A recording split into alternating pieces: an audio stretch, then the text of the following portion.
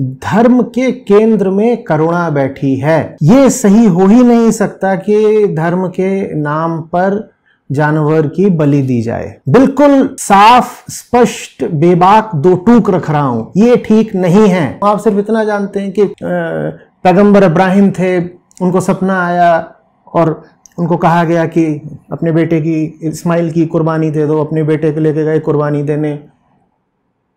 बस कुर्बानी देने ही वाले थे कि तभी फरिश्ता आ गया। फरिश्ते ने कहा कि तुमने जो ये भाव और ये निष्ठा, ये श्रद्धा दिखाई है तो ईश्वर प्रसन्न हुए और उन्होंने कहा है कि कोई आवश्यकता नहीं है बच्चे को मारने की। इतनी देर में एक भेड़ दिखाई दी। वो उस भेड़ के जो जो सींग थे वो कहीं झाड़ी में फंस गए थे। तो फिर बच्चे की जगह उस भेड़ की कुर्बानी दे दी गई।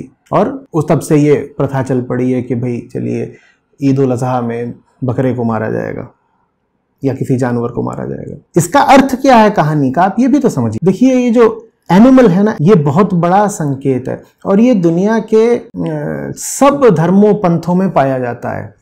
कभी अश्व के रूप में, बकरे के रूप में, भैंसे के रूप में, सांप के रूप में, लगभग सभी धर्म उस एनिमल की बात करते हैं कि एक एनिमल है और उससे सावधान रहना है, उसकी कुर्बानी देनी है या उस पर वश कर लेना है। ये बात क्या है? ये बात ये है कि आदमी भी बहुत हद तक पशु ही है। आदमी भी जंगल की ही पैदाइश है और जंगल बहुत सारा हमारे भीतर मौजूद है। जो हमारे भीतर मौजूद है जंगल, वो हमसे जानवरों सा बर्ताव करवाता है। जानवर कौन है? जानवर वो है जो बस खाने, पीने, भोगने, सेक्स करने, सोने में अपना मस्त रहता है। जानवर कोई नैतिकता नहीं जानता।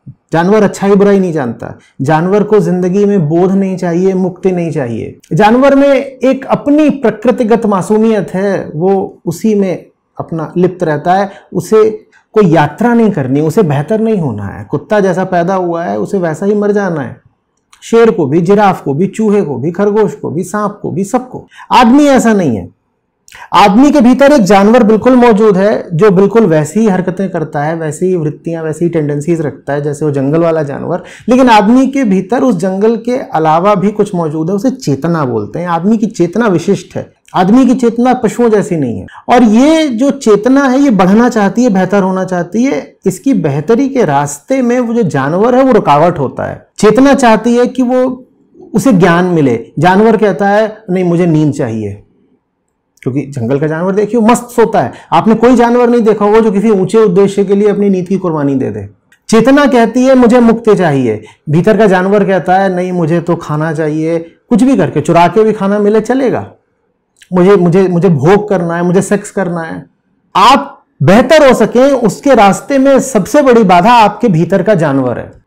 ये जो भीतर का जानवर है, इसकी कुर्बानी देनी होती है। बाहर वाले जानवर की कुर्बानी देकर के क्या मिल जाएगा? पागलपन है बाहर जानवर को मार देना। पागलपन है, क्रूरता है, अमानवीय है। तो कहानी का मर्म यह है कि चेतना के ऊँचे उद्देश्यों के लिए अपने भीतर की पाशविकता को पीछे छोड़ो। चेतना के ऊँचे उद्देश्यों के लिए अपने भीतर के जानवर की सुनना बंद करो। जानवर क्या चाहता है? जानवर वही सब चाहता है जो जंगल का जानवर चाहता है। हमारे भीतर का जानवर वही सब कुछ चाहता है जो जंगल का जानवर चाहता है, जैसे जंगल का जानवर ही चाहता है कि उसका एक क्षेत्र हो हम्म? उसके अधीनस्थ एक क्षेत्र हो, एक टेरिटरी हो, उसको भी टेरिटोरियल ऑक्यूपेशन करना होता है। कुत्ते को देखा है ना? वो जो अपना क्षेत्र है, उस पर ऐसे निशान बनाते हैं और उसमें कोई और कुत्ता जाए तो बहुत ज़ोर से भौंकते हैं। वैसे ही इंसान के भीतर का जानवर कहता है, नहीं नहीं, मुझे भी एक एक टेरिटरी पे कब्जा करना है। शुरुआत होती है घर से, फिर और और ज़्यादा कि यहाँ पे मेरा हुक्म चलना चाहिए, वहाँ पे हुक्म चलना चाहिए। अब ये जो पूरा इलाका है, ये मेरे कब्जे में है। ये आपके भीतर का जानवर है जो काम कर रहा है। समझ रहे? तो इसको पीछे छोड़ना है। कहानी का मर्म ये है, भीतर के जानवर को वशीभूत करना है।